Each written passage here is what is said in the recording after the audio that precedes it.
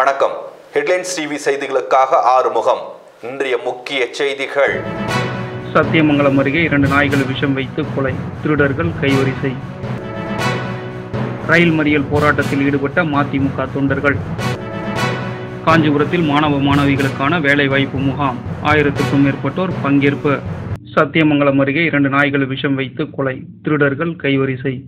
ஈரோடு மாவட்டம் சத்தியமங்கலம் காந்திநகர் பகுதியில் ஆயிரத்திற்கும் மேற்பட்ட குடும்பங்கள் வசித்து வருகின்றன.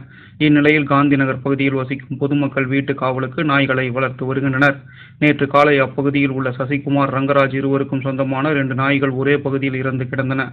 இதை கண்ட பொதுமக்கள் அதிர்ச்சி அடைந்துள்ளனர் இந்நிலையில் நாய்கள் விஷம் தடவிய உணவை உண்டு இறந்திருக்கலாம் என சந்தேகம் எழுந்ததால் அப்பகுதி பொதுமக்கள் விஷம் தடவப்பட்ட பொருட்கள் ஏதேனும் வீசப்பட்டுள்ளதா என தேடிய போது ஓரிடத்தில் மீன் துண்டுகள் இருந்ததை கண்டுள்ளனர். மீன் துண்டில் விஷம் வைத்து நாய்கள் கொல்லப்பட்டிருக்கலாம் என சந்தேகம் அடைந்துள்ளனர். ரயில் மறியல் போராட்டத்தில் ஈடுபட்ட மதிமுக தொண்டர்கள் மணப்பாறை ரயில் நிலையத்தில் ரயில் மறியல் போராட்டம் நடைபெறும் என்று அக்கட்சியின் பொதுச் செயலாளர் வைகோ அறிவித்திருந்தார்.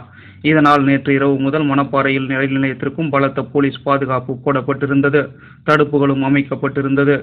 இந்நிலையில் வாலிபர்கள் திடீரென பல்வேறு பாதுகாப்புகளையும் மீறி போலீசாருக்கே போக்கு காட்டிவிட்டு ரயில் முன்பு தண்டவாளத்தில் நின்று கண்டன கோஷங்கள் எழுப்பினர். இதனால் ரயில் நிலைய வளாகத்தில் சிறிது நேரம் பரபரப்பு ஏற்பட்டது. காஞ்சிபுரத்தில் மாணவ மாணவிகளுக்கான வேலைவாய்ப்பு முகாம். ஆயிரத்திற்கும் மேற்பட்டோர் பங்கேற்பு.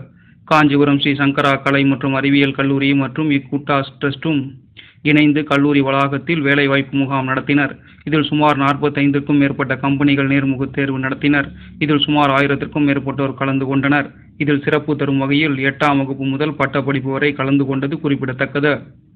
மக்கள் குறை தீர்ப்பு முகாம். அதிமுகவினரிடையே கடும் மோதல். காஞ்சிபுரம் மாவட்டம் தாம்பரம் அடுத்த மேடவாக்கம் பகுதியில் நடைபெற்ற மக்கள் குறை தீர்ப்பு முகாம் காஞ்சிபுரம் மாவட்ட ஆட்சியர் பொன்னையா தலைமையில் நடைபெற்றது. இந்த முகாமில் நாடாளுமன்ற உறுப்பினர் ஜெயவர்தன் கிழக்கு மாவட்ட செயலாளர் சிட்லப்பாக்கம் ராஜேந்திரன் சோழிங்கநல்லூர் முன்னாள் சட்டமன்ற உறுப்பினர் கந்தன் பல்லாவரம் பகுதி சட்டமன்ற உறுப்பினர் தன்சிங் பரங்கிமலை ஒன்றிய செயலாளர் என் சி கிருஷ்ணன் உள்ளிட்ட கழக பொறுப்பாளர்கள் நிர்வாகிகள் கலந்து கொண்டனர். அப்போது மக்களிடம் குறை மனுக்கள் மீதான உரிய நடவடிக்கைகள் மேற்கொள்வதாக மாவட்ட ஆட்சியர் தெரிவித்தார். நிகழ்ச்சியின் இறுதியில் அதிமுகவின் இரண்டு பிரிவினருக்கும் இடையே நிகழ்ச்சி ஏற்பாடுகள் குறித்து கடும் மோதல் ஏற்பட்டது. காஞ்சிபுரம் ஸ்ரீ சங்கரா கலை மற்றும் அறிவியல் கல்லூரியில் நடந்த வேலை வாய்ப்பு முகாம். காஞ்சிபுரத்தில் மாணவ மாணவிகளுக்கான வேலைவாய்ப்பு முகாம் நடந்தது. இதில் தேர்வு பெற்றவர்களுக்கு ஸ்ரீ சங்கர விஜயேந்திர சரஸ்வதி சுவாமிகள் பணி ஆணைகளை வழங்கி ஆசி வழங்கினார். காஞ்சிபுரம் பெரும்பாக்கம் கிராமத்தைச் சேர்ந்த வாலிபர் ஒருவர் தற்கொலை முயற்சி. காஞ்சிபுரம் அடுத்த பெரும்பாக்கம் கிராமத்தைச் சேர்ந்த பெருமாள் வயது இருபத்தி நான்கு. நில பிரச்சனை சம்பந்தமாக நில அபகரிப்பு பிரிவு போலீசாரிடம் புகார் தெரிவித்தும் எவ்வித நடவடிக்கையும் எடுக்கவில்லை என கூறி மாவட்ட காவல் கண்காணிப்பாளர் அலுவலகத்தில் பெட்ரோல் ஊற்றிக்கொண்டு தீக்குளிக்க முயற்சி செய்துள்ளார்.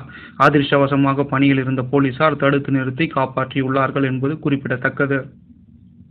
பவானிசாகர் அணையின் மேல் பகுதியில் தேனீக்கள் கொட்டியதில் பொதுப்பணித்துறை ஊழியர் உயிரிழப்பு. ஈரோடு மாவட்டம் சத்தியமங்கலம் அருகே பவானிசாகர் அணையில் தேனீக்கள் கொட்டியதில் பொதுப்பணித்துறை ஊழியர் உயிரிழந்தார். பொதுப்பணித்துறை பவானிசாகர் அணை கோட்ட பிரிவில் பணியாளராக பணிபுரிந்து வந்தவர் ராமசாமி. இவர் நேற்று மதியம் அணையின் மேல் பகுதியில் பணிக்கு சென்றுள்ளார். அணையின் மேல் மது பகுதியில் இருசக்கர வாகனத்தில் ராமசாமி சென்றபோது பறந்து வந்த தேனீக்கள் முகத்திலும் கைகால்களிலும் கொட்டின. இதனால் வழி தாங்காமல் ராமசாமி கத்தியதால் அருகில் இருந்த ஊழியர்கள் உடனடியாக வந்து ராமசாமியை மீட்டு பொதுப்பணித்துறைக்கு சொந்தமான ஜீப்பில் சத்தியமங்கலம் அரசு மருத்துவமனைக்கு கொண்டு சென்றனர். அங்கு முதலுதவி சிகிச்சை அளிக்கும் போது சிகிச்சை பலனின்றி உயிரிழந்தார். ராமேஸ்வரத்தைச் சேர்ந்த பன்னிரண்டு மீனவர்கள் இலங்கை கடற்படையினரால் இன்று அதிகாலை கைது செய்யப்பட்டுள்ளனர். ராமேஸ்வரத்தைச் சேர்ந்த பன்னெண்டு மீனவர்கள் இலங்கை கடற்படையினரால் இன்று அதிகாலை கைது செய்யப்பட்டுள்ள சம்பவம் பெரும் பரபரப்பை ஏற்படுத்தியுள்ளது. அறுபது நாட்களுக்கு மீன்பிடி தடைக்காலம் அமலில் இருந்த நிலையில் இலங்கை கடற்படையினர் தமிழக மீனவர்களை கைது செய்யும் சம்பவங்கள் நடைபெறவில்லை. தடைக்காலம் முடியும் வரை காத்திருந்த இலங்கை கடற்படையினர் மீண்டும் தமிழக மீனவர்களை கைது செய்யும் நடவடிக்கையை மேற்கொண்டுள்ளனர். ஸ்டெர்லைட் ஆலைக்கு சீல் வைத்ததை எதிர்த்து வேதாந்தா நிறுவனம் தாக்கல் செய்யப்பட்ட மனு இன்று விசாரணைக்கு வருகிறது. ஸ்டெர்லைட் ஆலையை நிரந்தரமாக மூட உத்தரவிட்டதை எதிர்த்து வேதாந்தா குழுமத்தின் சார்பில் தாக்கல் செய்யப்பட்ட மனு தேசிய பசுமை தீர்ப்பாயத்தில் இன்று விசாரணைக்கு வருகிறது. அந்நிறுவனம் தாக்கல் செய்த மனுவில் சுற்றுச்சூழல் விதிகள் அனைத்தும் முறையாக பின்பற்றப்பட்டு வருவதாகவும் ஆலையிலிருந்து வெளியேறும் கழிவுகள் மற்றும் புகையால் எந்த பாதிப்பும் ஏற்படவில்லை என்றும் கூறப்பட்டுள்ளது. தீபாவளி பண்டிகைக்கான ரயில் டிக்கெட் முன்பதிவு இன்று தொடக்கம். வரும் நவம்பர் மாதம் ஆறாம் தேதி தீபாவளி பண்டிகை கொண்டாடப்பட உள்ளது. நூற்றி இருபது நாட்களுக்கு முன்பே ரயில் டிக்கெட் முன்பதிவு செய்ய முடியும் என்பதால் நவம்பர் இரண்டாம் தேதி பயணிப்பதற்கான முன்பதிவு இன்று காலை தொடங்கியுள்ளது.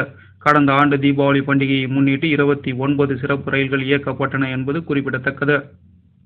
இத்துடன் இந்த செய்தி அறிக்கை நிறைவடைகிறது.